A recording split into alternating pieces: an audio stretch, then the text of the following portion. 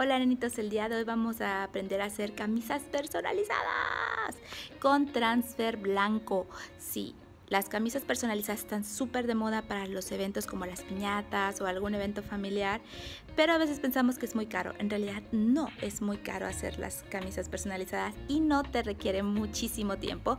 Yo tardé como unos 8 minutos en hacer este solicito que ven aquí, que lo hice en un programa de ilustrador. Les voy a llevar paso a paso de cómo lo hice para que vean que no es muy difícil y lo pueden hacer en cualquier programa que tengan en su computadora, desde Paint, PowerPoint. Lo único que tienen que hacer es convertir la JPG. Recuerden, anitos, suscribirse al canal y darle clic a la campanita para que les lleguen los anuncios de que estamos subiendo un nuevo video y les va a gustar mucho este video porque los va a sacar de muchos apuros y es muy económico. En verdad, esta es la primera vez que hago transfer blanco. Siempre había hecho transfer negro. Veamos qué tan complicado es al final. Los materiales son una playera blanca, imagen para transferir, papel para transferir, tijeras, papel encerado, un círculo para recortar la imagen y un lápiz. Y además una plancha para transferir la imagen.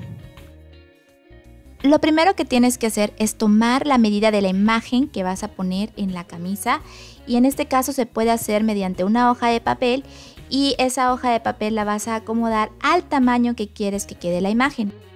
Ahora vamos a hacer este transfer que es un eh, sol y les voy a enseñar cómo lo hice en Illustrator. La verdad es fácil de hacer este, para que se den cuenta que es fácil conseguir esas imágenes. Ahora vamos a hacer un círculo. Ese círculo va a medir 8.75 con la herramienta de círculos. Después vamos a hacer otro de .37. Vamos a hacer un triángulo que mida 1.5 de radio. Una vez que ya hicimos eso, los vamos a alinear los dos hacia el centro y hacia abajo. Una vez que ya están alineados, los vamos a llevar atrás al triángulo para traer frente al círculo y hacerlo hacia abajo. Una vez que ya está hacia abajo, lo vamos a agrupar. Ahora nos vamos a ir a efecto. En efecto nos vamos a ir a distorsionar y transformar. En transformar vamos a poner en ángulo 360 entre 8. Vamos a cambiar la dirección hacia abajo y que sean 7 copias para que nos salgan 8 rayos del sol los vamos a acomodar en medio y vamos a usar el cursor para poner la parte de abajo, el círculo y se va a formar el aro del sol. Una vez que ya hicimos eso con nuestro cursor blanco, vamos a bajar los picos, como se dieron cuenta con un clic. Es muy fácil. Después vamos a hacer lo siguiente. Vamos a expandir la apariencia y una vez que ya expandimos la apariencia vamos a poder quitar este, la selección de en medio del círculo y listo. Como se darán cuenta fue fácil. Ahora estamos poniendo el color con todo seleccionado que va a ser eh, el color amarillo. Tanto como para afuera como para adentro. Y ahora estamos haciendo un círculo negro. Ese círculo negro van a ser los ojos.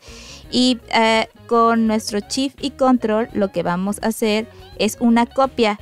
Ahora ya hicimos la copia de este círculo. Una vez que haces la copia del círculo, vas a hacer otra copia para hacer las dos partes rositas del área eh, del pómulo.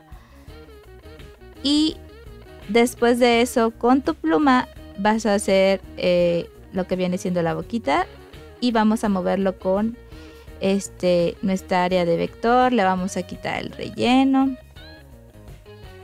Y se dan cuenta es eh, fácil de hacer.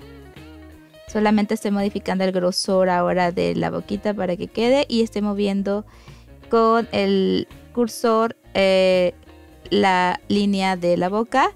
Una vez que ya terminé de hacer eso, lo que voy a hacer es otra vez con la pluma, voy a hacer el rayito que tiene arriba como de sombra blanca y lo estoy moviendo solamente con el que mueve los vectores y el cursor blanco que es también para mover eh, los vectores y ahora solamente he seleccionado un color blanquito entre blanquito y amarillo para que se vea como una pequeña sombra. Después acomodé los soles en una hoja tamaño tabloide donde los llevé a imprimir en un papel que se llama transfer. A cualquier imprenta lo puedes llevar. Y este es el resultado final de los soles. Son seis soles en una hoja tamaño tabloide, que es el tamaño del el eh, papel que se llama Techniprint ESP, ese papel seguí las instrucciones para plancha, entonces así fue como me di cuenta que era lo que tenía que hacer. De todas maneras, es muy similar a lo que ya había hecho antes, solo quería cerciorarme de que los pasos fueran correctos. Ahora estoy usando el círculo azul del el tamaño de lo que viene siendo el círculo exterior o los rayos de sol para poder recortar este papel. No lo quise hacer con un círculo que estuviera impreso por el hecho de que eh, pudiera afectar al momento de estar planchando y se viera esa tinta con el lápiz, pues obviamente no se iba a notar porque no se iba a transferir absolutamente nada. Y así pude recortarlos redondos sin problema de que me fueran a quedar este, pues chuecos los solecitos. Y listo, terminé de recortar los soles. Ahora hay que planchar la camisa en el punto donde lo vas a poner. Cerciorarte de que no haya cabellos o pelusas para poder poner el material. Una vez que ya lo tienes así, lo que tienes que hacer es este, medir para que te quede exactamente en el centro. Lo que yo hice era que quería quedar a 3 centímetros hacia abajo del cuello y le hice una marca en la parte de arriba al sol para que pudiera ponerlo y quedara centrado. Ahora lo que hago es medir de los lados que tenga los mismos centímetros de cada lado una vez que ya está posicionado y ajusto hasta que tenga los mismos centímetros de cada lado. Ahí se dan cuenta, lo estoy contando y una vez que ya está centrado, lo que hago es poner la plancha caliente y pasarla. El material dice que son 90 segundos. Yo empecé a notar que eh, cambió de color la camisa y fue cuando paré de planchar un poco porque pensé que se iba a poder quemar la camisa y lo volví a hacer eh, segundos después para que quedara el transfer porque todavía estaba muy pegado y se dan cuenta lo tienen que hacer un par de segundos después de que ustedes ya terminaron de planchar porque si no se va a quedar pegada la hoja del transfer Así también funciona en el otro, tiene que ser cuando todavía está caliente como menciona las instrucciones.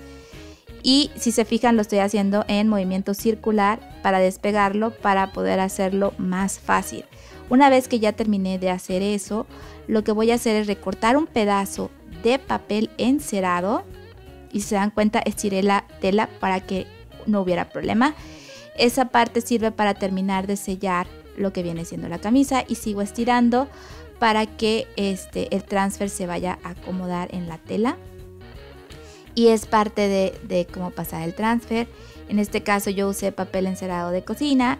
Ustedes pueden usar papel encerado que venden en las papelerías o si tienen de cocina pues el de cocina y sigo estirando para poder despegar más fácilmente ese papel encerado porque también se adhiere con mucha facilidad al transfer y eso le da el acabado a la playera y hemos terminado de pasar el transfer. La verdad es que es fácil de pasar y si se dan cuenta tiene muy buenos resultados. Bueno, nanitos, este fue el resultado final de nuestra camisa. Si se dan cuenta, no se notan las orillas como en el transfer blanco, que es algo bueno, a pesar de que es un poco más tardado y la otra es que el otro es un poco más fácil de aplicar porque nada más planchas una sola vez, a diferencia de este que planchas más veces. Entonces eso fue lo como que lo que no me encantó per se, pero este pues espero que les gustara este video de cómo personalizar tus playeras. Recuerda darle dedito arriba si te gustó y no olvides suscribirte al canal, presionar la campana para hacer más grande esta comunidad y te lleguen los mensajes cuando subamos los videos. Los quiero mucho, nenitos. Nos vemos el próximo martes.